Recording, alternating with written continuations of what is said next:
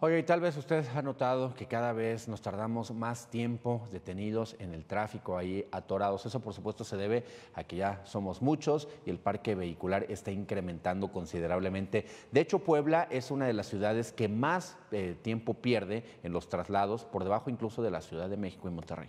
Más tráfico vehicular son la 11 Norte Sur, el Boulevard 5 de Mayo y la 31 Oriente Poniente.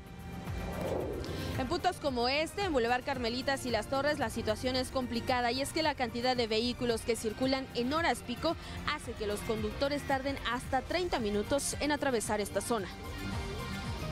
¿Cuánto tiempo llevas aquí? En el tráfico como 30 minutos. 30 minutos. Está complicado transitar. por- Sí, está, está complicadísimo. ¿Y es el único paso que tienes? ¿No tienes otras vías alternas? Es lo mismo, donde quiera hay, hay, hay tráfico. Este es el todo el mundo entra uno a la misma hora la- al trabajo, ¿no?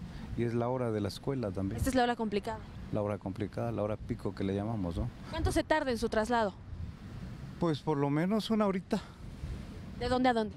De- hablo de aquí de lo que es mayorazgo, hablar Angelópolis. Viene una vuelta de rueda básicamente. De hecho, Puebla se ubica como la tercera zona metropolitana que más pierde tiempo en traslados, por detrás de México y Monterrey. Esto de acuerdo con información del Instituto Mexicano para la Competitividad.